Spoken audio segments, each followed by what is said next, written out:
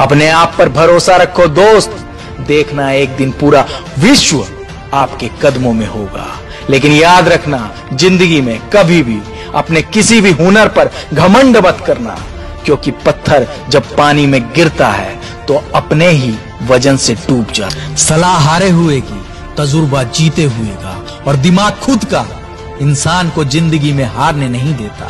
सपना बड़े से बड़ा देखो मेरे दोस्त, चाँद नहीं भी मिला तो क्या फ़र्क पड़ता है?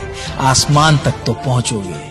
कामयाब होने के लिए एक अच्छी बॉडी और एक खूबसूरत चेहरे की आवश्यकता नहीं होती। इंसान को सिर्फ़ अपने स्किल को दिखाने की काबिलियत होनी चाहिए। जिस दिन आपका काम आपके मूड से ज़्यादा इंपॉर्टेंट हो जाएगा। उस दिन आपकी सफलता निश्चित है।